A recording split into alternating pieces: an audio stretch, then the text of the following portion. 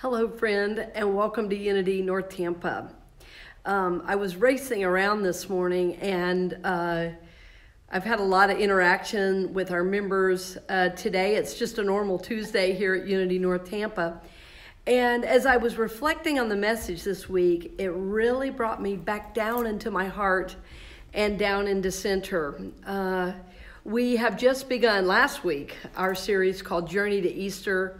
And each week we're looking at a different aspect of how we can live a resurrected life. Uh, last week we talked about the importance of, you know, letting go of what does not serve and yet focusing on those uh, good, positive things that are of the Spirit and doing that through our daily prayer time. Well, this week we're going to take that idea even deeper. The talk title is God is, I am. And we know that's really one of the greatest spiritual truths and one of the greatest prayers we can pray. Uh, God is, I am.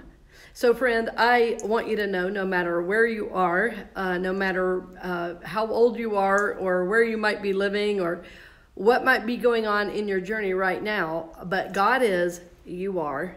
And that means you are never separate, you are never alone, and those you love are never separate and never alone. So we just affirm that with you and for you. And we hope to see you uh, very, very soon in one of our services. Whether you're visiting with us online or in person, we're always honored to support you and to share a little bit of your spiritual journey with you. Our services are at 11 a.m. every Sunday in person or live streaming on our YouTube channel. So, blessings on the journey, dear friend, and I hope to see you very soon.